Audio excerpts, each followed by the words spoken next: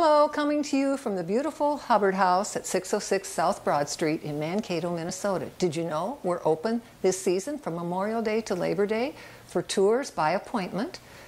To make an appointment, go to our website at blueearthcountyhistory.com or telephone us at 507 345 5566. I am upstairs in Jay's bedroom, one of my favorite rooms. There's windows on two sides here. I am standing at the washstand. It has a marble top, and here you see the wash basin and pitchers for hot and cold running water. They did have running water in this house, so these, these weren't absolutely necessary. But in homes that did not have running water, you would find probably a, a simpler version of this, and this is where you would wash up. Another little known fact about the 1800s